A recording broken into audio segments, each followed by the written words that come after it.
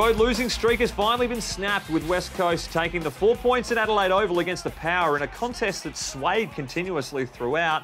The boys did hold a 37 point lead deep into that third quarter, but to Port Adelaide's credit, they never threw in the towel and challenged the Eagles side until the very end. Welcome to Eagle Review, proudly sponsored by Masters.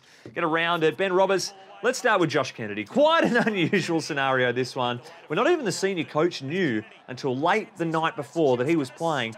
And we're boys that will be sending thank you cards to Lauren all week long, you'd think. Yeah, no, he played very well considering the uh, unusual build-up, it must be said, and uh, it's a private matter, so we won't go into it too much. But, geez, he uh, played very well. Seven goals, we'll take that every week. I did enjoy his athleticism and he showed what he could do on ground level where he turned his opponent inside out for the final goal. Do you know what it reminded me of? Mm. It reminded me of Dean Cox at the Telstra Dome, I think it would have been called back in the day, against Essendon, uh, right on the boundary. Uh, reminded, threw the clock back and, geez, I thought a big Dino at that point. Yes, we have received the all-staff email from Dean Cox just to letting us know that that was his trademark yeah, it's been, it's been done before, done before.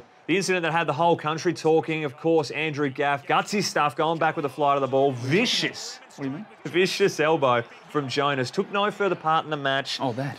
Good spirits. He, uh, he'll be touch and go for this weekend. He'll have to pass all protocol, but he was in a good state of mind as he came off the track and was in the doctor's office. Big thumbs up from Gaffy. Big thumbs up, and obviously you've got Peanut Gallery there talking to him and finding out that he's okay. What were you saying to him then? I was just saying, mate, I've gone back with the flight that many times that this is just bound to happen in careers. Yeah. Slash, I've never gone in for a hard ball you ever. You little blokes stick together. What do you make of the West Coast performances after this incident? You thought it would kind of galvanise that they're going with it, but kind of that's where Port Adelaide got their run on. Yeah, well, uh, it's one of those. It's a real circuit breaker when, especially when the game stopped for that long. Both teams, you know, huddle up and it does, whoever has the momentum, it sort of stifles it a little bit and whoever didn't can sort of regroup and, yeah, interesting. Thought it was probably Lycett's best game for the club. Great to do it in his home state of Adelaide. Just remind them exactly what they've missed out on from the big fella. 13 disposals, 23 hitouts, 11 tackles. 11 tackles. Doing it at ground level and a couple of goals.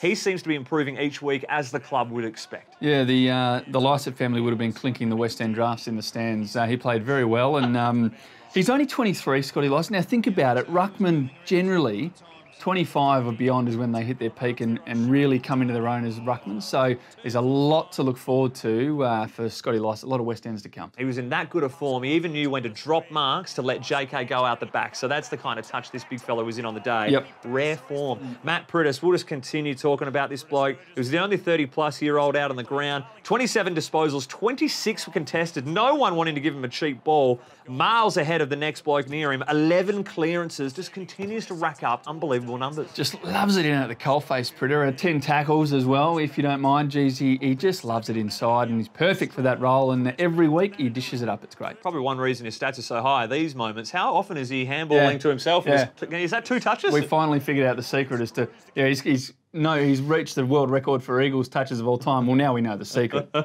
Wellingham's game, impressive. The composure from the back half and clean shows how important he is to the makeup of that back six. Yep. Naitanui, terrific again. Another yep. marvellous season. Talk to me about the opening minute of the game, though, because this was the trend setter. Yeah, so when you're away, you want to base, you want to start well to silence the crowd, but you also want to get on top not so much mentally, but you just want to get on top of the other team early to not let them get sucked into the crowd and get build their momentum. And Bunga when the ball was in dispute, Bunga's gone, nah, I'm making a statement here. He probably didn't do that, but that's what it did in the end. And just put a little uh, shiver through the spine of Boak and potentially, potentially some other players as well. So it was a good effort from the captain. A couple of other plays we just want to look at here. Didn't have his best statistical game, but Gov, a couple of critical spoils if you have a look here. One sets the time with the flight, very gaff-like, but uh, he ended up a little bit better than him. The other was this brilliant closing speed effort on Wingard, and if he takes that mark and converts early in that fourth quarter, it just does amazing things for their confidence, their home crowd. Understated spoil that Who, one. Who knows what happens? He's so, uh, I think he's just getting so reliable as a defender now, Gov. He's just settled down back. Don't worry about it. He almost played forward, though. We do know that, but uh, trained forward at the captain's run. But um, he's just so settled, and they and they all know their job back there, which is the best thing. Because when people are doing that and they're confident with their system, it's very works very, very well. The same could be said about Shannon Hurn, who left his man in the fourth quarter for another critical contest that went over the line. Exactly. These were big moments in that fourth quarter. Some sore bodies out there. We've obviously got Gaffy that we've spoken about. Hartlett went down early for Port. What Shoulder, about, Corky. It was. What about the, the Port bloke that almost did his ankle knee? That looked horrific on yeah, camera. Didn't look great. Oh, that was a, a shuddering one. And Hutch putting Hutch. his head over the ball. Hair going everywhere. Did not even waver if you have a look at this vision. Didn't even worry about the bloke coming near him, and he walked 4-1, but he's in good spirits as well. And then he's, kept going, took some marks yeah, as well. Mate, just want to hug him and tell him everything's going to be okay. Well done, Hutch. Let's go to the roast of the round. There's just a few to get through. Nick Nat to kick it off, Ben. Nick Nat early now. We know he's known for his leaping Nick Nat, his majestic. Every footy card you see, he's just three feet above the opponent, just tipping it down the throat of someone. This wasn't his greatest effort. No, bit of a clank to the head. Yep. I like this one from Sam Butler. The ball's gone out of bounds. That is clearly off butts. But how he's just appeal. He's like, that's off the knee. That's off the knee. No, it's not, Sam. You are wrong. And you can't convince him of that. The wily veteran. But we'll give it back to Wingard because he's just turned the pass over easy as well. So we've got the double barrel roast of the round for that play there. Yep, okay. Well, what about Impy? A couple of things here. Look, a bit stiff, but we don't let anything get through to the keeper No, here at the review. no.